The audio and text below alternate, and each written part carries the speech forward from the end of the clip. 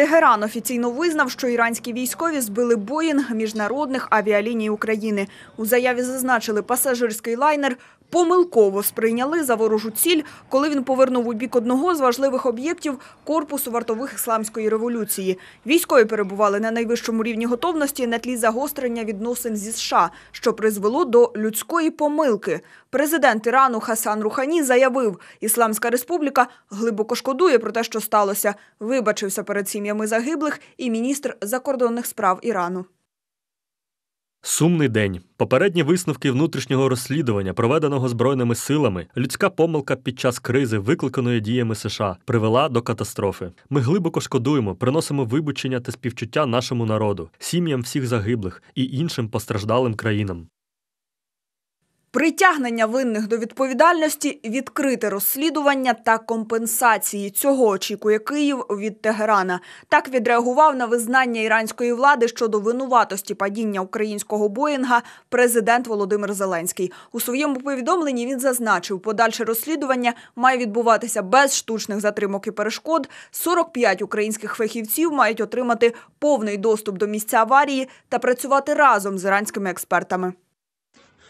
Боїнг 737-800 міжнародних авіаліній України, що прямував із Тегерана до Києва, розбився 8 січня незабаром після вильоту з іранської столиці.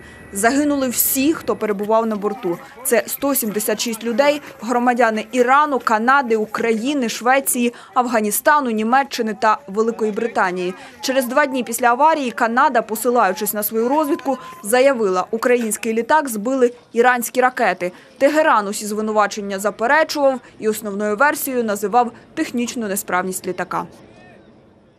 Тіла загиблих під час катастрофи літака в Ірані повернуть до України 20-21 січня, повідомив секретар Ради нацбезпеки і оборони України Олексій Данилов у коментарі BBC. За його словами, частину тіл уже ідентифікували. Доставити останки родичам зобов'язалася МАУ. Президент авіакомпанії сказав, українська сторона готова забрати тіла всіх загиблих, зокрема іноземців, якщо Тегран буде готовий їх віддати.